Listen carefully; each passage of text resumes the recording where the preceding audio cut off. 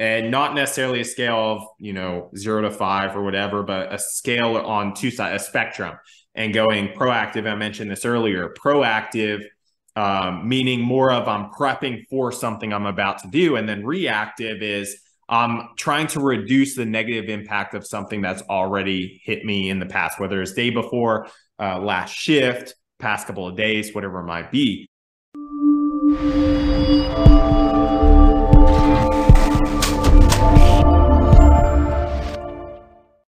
Welcome to RIT Team Radio, where today we're actually going to transition a little bit. We're going to change up the structure of how episodes are going to be delivered. We're going into a new format in where uh, think segment one or uh, the first component of a theme or a concept is going to provide you with the significance or the impact uh, that whatever that theme has on the fire service. Then that next component, the second aspect, is going to be well, what research is even already out there? What do we know?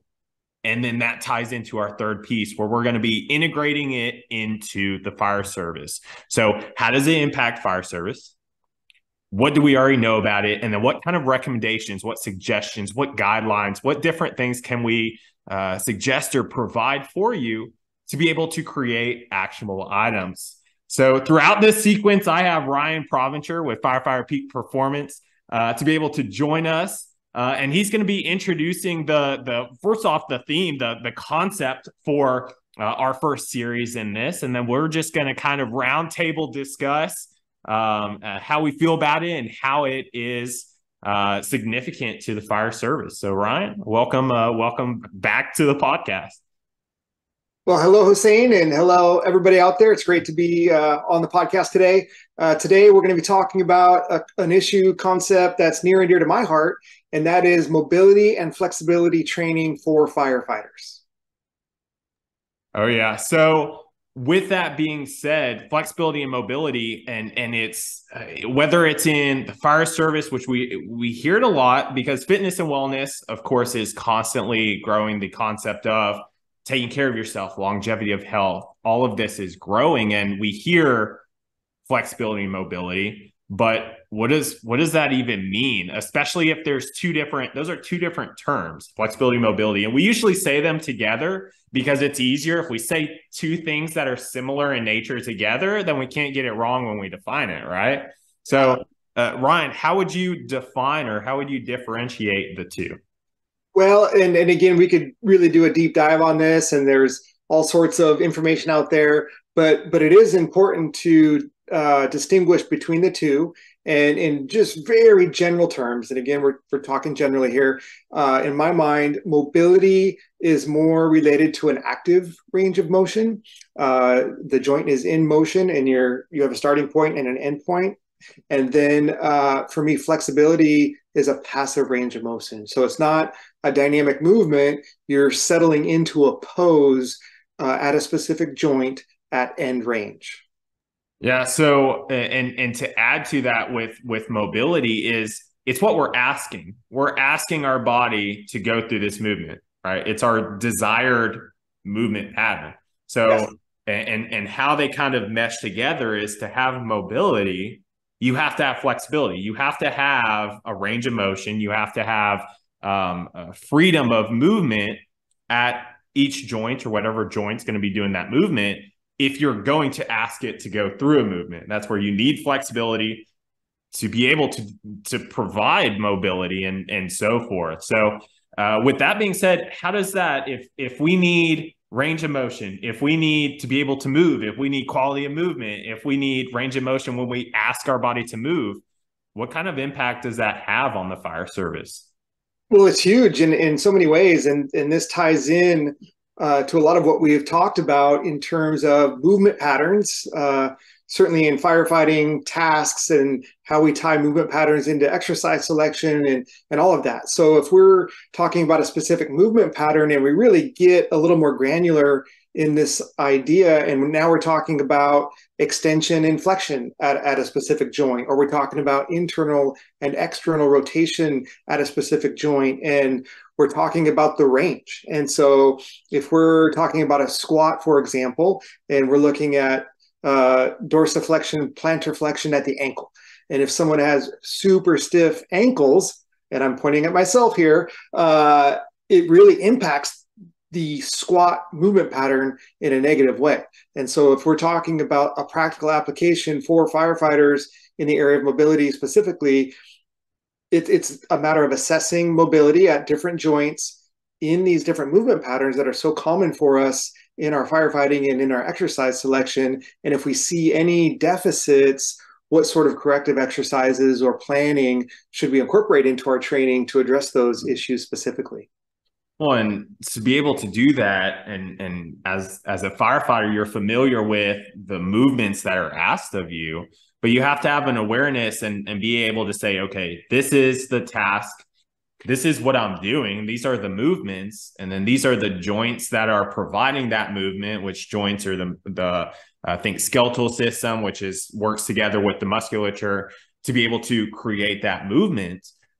But you have to know which joints are are uh, incorporated into this, and then what is being asked of that joint. Do I need to be able to raise my arm overhead? Do I need to be able to bend forward? Do I need to be able to lift my knee? Like what is being asked of the body?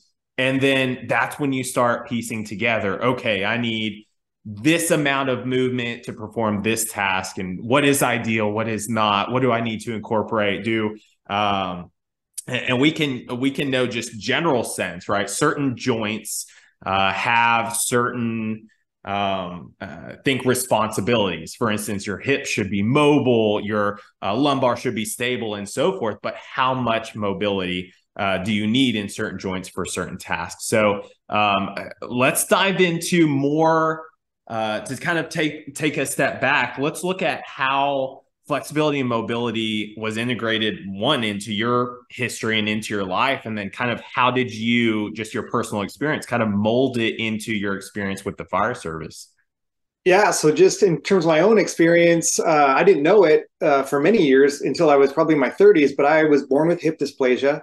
And so I already had some movement limitations in my body, and and uh, even from a young age as a child, I was developing compensation patterns to account for this maybe some joint dysfunction that I had, and so that coupled with putting a lot of miles on. Uh, I really got heavy into uh, heavy strength training as a young teenager. Uh, didn't do any stretching, didn't do any warm up cool down stuff like that it was more about you know go big or go home and and kind of the old school uh, lifting stuff back in the day and but as i got older really in my early 30s i had a lot of joint pain a lot of uh, limitations in my movement.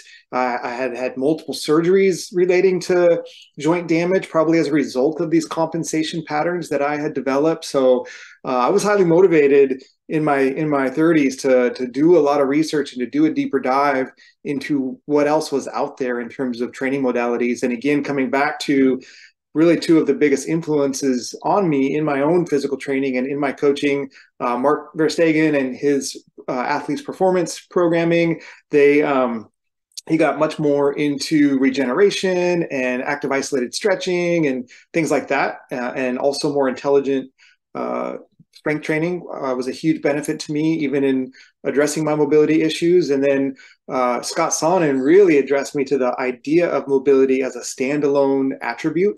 And he had a program called Intu-Flow. It was really a, a head to flow, joint by joint, uh, from from the top down and the inside out, uh, kind of a movement flow. And I just had tremendous benefit. The the pain I was experiencing dissipated, my movement quality improved, and this light came on for me that wait a second, this this is a whole other thing. There's there's strength over here and there's endurance over here and conditioning over here, but the whole idea of mobility and flexibility as standalone attributes and also standalone training methods uh, have been a game changer for me personally and in, in my coaching as well.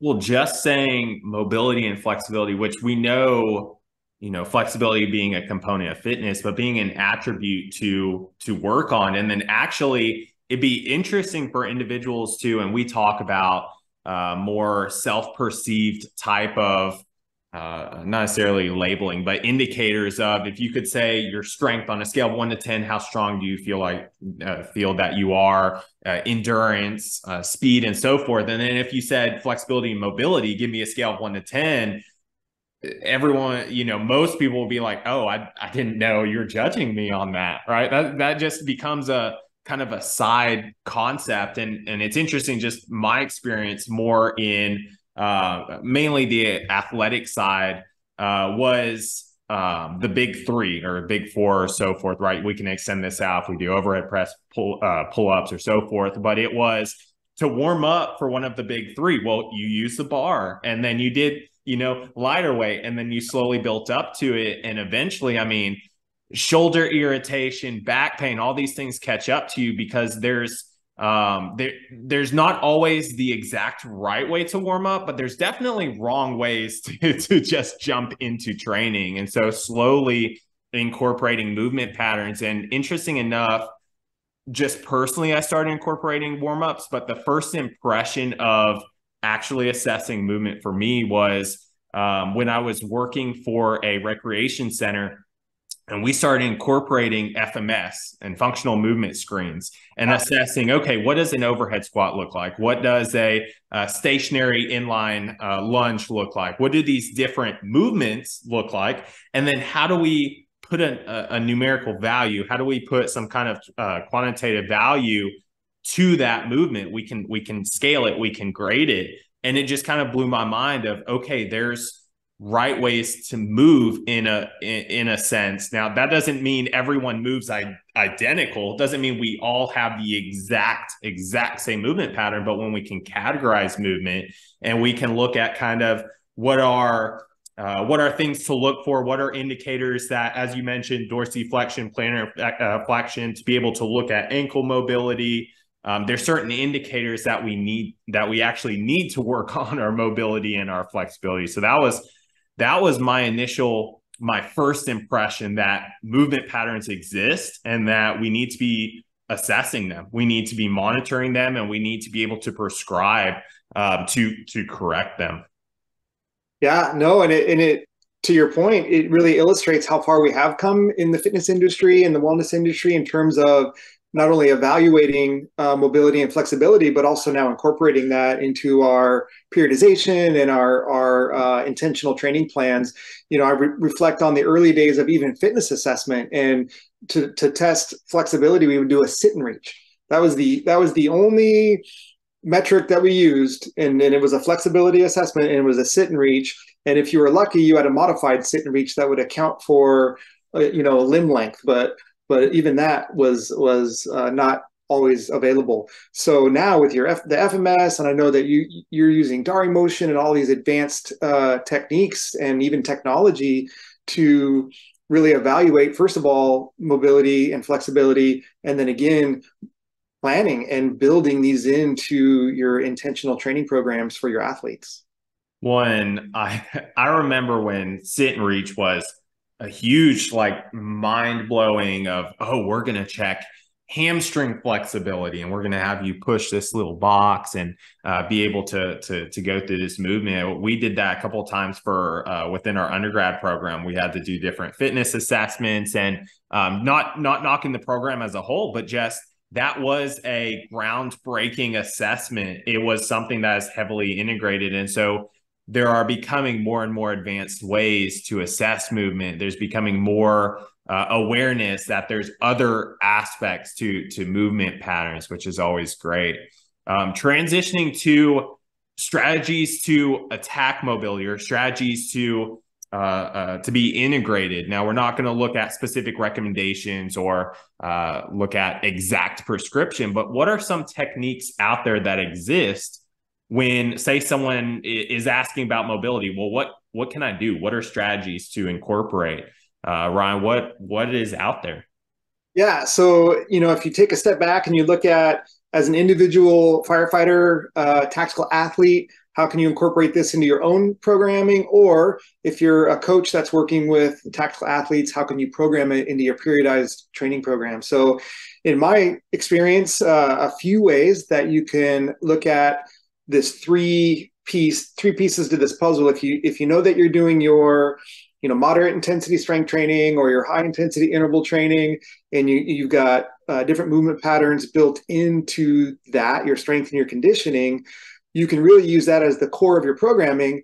And when it comes to mobility work, uh, one way I love to incorporate that into training is as a warm up. So you have a dynamic warm up for this specific training that you plan to do. And again, you're looking at the movement patterns in your program, and your dynamic mobility session primes your body for those movements. So it's not what we used to do and use the bar uh, in the press, it's you know much more dynamic movement through the shoulders and the chest and the back to to prepare that. Or if you're doing a lunge, your your dynamic movement primes your body for the lunge pattern. Um, so that's one way. And then on on the back side of it, if you know that you're creating tension in your body through the movement. So, for example, if you're squatting and you're hinging at uh, the hip joint and you're shortening your hip flexors in that movement, then to unload that, you're really extending through the hips and you're spending some time in hip extension to, to purposefully release the tension that you've developed uh, based on a specific movement pattern. So you, you've got your very uh, specific warm up, you're going through your training, and then a very comprehensive cool down to unload uh, everything that you have done in your training. So that's one, in my mind, how you can incorporate into your workout days. One, you know, you mentioned it and walked us through it, but just to really emphasize, it's it's also understanding that and and you know it depends on what your workout structure looks like and all those great things but even if you want to say you are the master at doing the bench press okay you can't just stretch the front of your shoulders and, and your chest, right? Even you mentioning that to where, okay, well, your lats are integrated. Well, you actually have leg drive and leg support, your your bicep aids in it. Like your whole body actually assists with this. So there's two kind of aspects to it is it's still a full body in nature, but then also and and one area, one way I like uh, especially for the tactical athlete, and I recommend this to absolutely everyone, general population and all, is you're still doing a warm up, one being proactive for the training session, but you're also reactive for life. So you're still wanting to incorporate some kind of yes, have very specific tasks that target those areas you're going to train, hopefully you're training full body in nature so you're going to do kind of a, a full body warm up but even let's say you divide it upper body lower body you do push pull legs whatever it might be my recommendation is still incorporating. If you're going to do a pressing movement if you're going to do push if you're going to do chest I, I'm, I mean, still look at the dynamic warm up as a holistic, full set uh, approach. Yeah, you're doing that dynamic warm up. You're really priming the body. You're looking at different ways to create muscle activation uh, in support of the movement patterns that are programmed into your training. So yeah, all, all of that uh, is just a great way to really optimize your training session. And then the other thing I want to point out too is especially around firefighters on shift work is you can use this whole idea of a, a, mobility session kind of a priming session as a lower intensity option on a on a dedicated training day. So you might uh, or same idea for your flexibility training. If you're doing you know yoga for example yoga in my mind is maybe kind of a mobility flexibility combo but when you're in poses at the end of range of motion, it's just a really great way to release tension in your body. So let's say you're on shift, you have a busy shift. Maybe you're tempted to go hard and do that high intensity interval training workout, but maybe uh, you're better off spending some time doing uh, maybe a, a dynamic movements in a priming session that next day, or maybe you really need to settle into a recovery day where you're spending, you know, 20, you know, 30, 45 minutes really in these different poses to recover and un- unleash tension in your body. One, you just answered the question of should you um, only be incorporating mobility as a primer, right? Using the, the, the term primer because you're trying to prep your body before you're doing some sort of activity. Um, aside from those two, or aside from just warming up, should there be a warm up? Is there a concept of a cool down? A recovery day. So kind of walk through those those different components, which you just you know, brought it up uh, in nature, right? Is there's a warm up, priming, and then cool down, and and so forth. So what do uh, potentially in theory, what are they meant to do? What is a cool down? I know we usually go in and let's say realistically most people skip or do a 10 second warm up and then i don't know how many people have heard of a cool down. That might be grabbing your bag and then walking you know inside or grabbing your stuff or putting away the equipment. But what is, in general like what is the uh, significance of those components? Yeah and so you know you and i talk a lot about intentional training and we can put this into a, a couple of different context, right? So we talk about Recruit Academy just as an example, and I'll share with you the feedback that we get from recruits in our physical training programs year after year is for one, they just hadn't really focused on the mobility training or the flexibility training, and very quickly, because of the intensity of the occupational training, it's their absolute favorite training days. Like we do just a little bit of moderate, maybe touch high intensity, maybe once a week, but really the emphasis throughout Recruit Academy is this low intensity kind of dynamic dynamic movement through these mobility sessions or uh, these dedicated recovery sessions where maybe we'll do some call it zone two cardio where they they go on a light jog but really monitoring heart rate and intensity to keep that low and then they spend 20 to 30 minutes just stretching and uh, we get a lot of really great feedback from recruits about those training days. And then again, coming back to firefighters and operations, you know, you want to be response ready. You want to have your peak performance days, performance wise, on your on shift, and then your whole physical training program is built around that to include these dynamic mobility days, uh, joint mobility work, and then uh, recovery and flexibility days as well. You know, what would be interesting is actually having yes, you know, individuals having designated, okay, this is your warm up. All right, this is a recovery day. But just thinking of this from a and and you know, of course, all the all the thought process of of how much information we can acquire, but giving someone kind of a scale and not necessarily a scale of you know zero to five or whatever, but a scale on two sides, a spectrum, and going proactive. I mentioned this earlier. Proactive um, meaning more of I'm prepping for something I'm about to do. And then reactive is I'm trying to reduce the negative impact of something that's already hit me in the past, whether it's day before, uh, last shift, past couple of days, whatever it might be. And in a session, giving someone a scale or a spectrum and going, where are you on this spectrum in your session? Uh, whether it's during a, even a warm up. I mentioned some warm ups, I'll have, okay, you're prepping, but I still want you doing hip mobility because the past couple of days you've been sitting or you've been doing this or that. So it'd be interesting just spitballing that. It'd be interesting to give someone kind of that spectrum. Just a- answer this every time you're warming up. Are you trying to recover from being beat up or are you trying to prep yourself um, for the upcoming workout? So I think yeah. that'd be interesting to incorporate. For sure. And that kind of ties into conversations we've had about intentional training metrics, for example. So we talk about a mobility rating or an intensity rating or a discomfort rating in each tra- training session to include these mobility and flexibility days. And that is just a way for the athlete to um, either auto regulate as needed or to, to, to just record where they're at on any given day. And then the other thing, when we talk about an intensity rating, for example, we really can put that into four categories high intensity being anything above 80% or an RPE of eight. You know, moderate intensity is, you know, 60 to 80% or six to eight on an RPE. Low intensity is three, four, five. And then no intensity is below a two. And so if we're talking about auto regulation, not only within a single training session, but in terms of what we choose to do on any given day, that's what I love about having a periodized training program is these days are plugged in in a way that's intentional but we're always giving the athlete the flexibility to make an adjustment. Hey i was supposed to do my moderate intensity strength day today i'm still a little beat up based on my own subjective intentional training metrics here i'm going to go ahead and do a mobility day i'm going to go ahead and do a flex- flexibility day and bang you could just sh- sh- shift these things around as needed once you learn as you're saying how to kind of how to kind of do some self-reflection and leave ego at the door and, and just do what your body is ready for on any given day.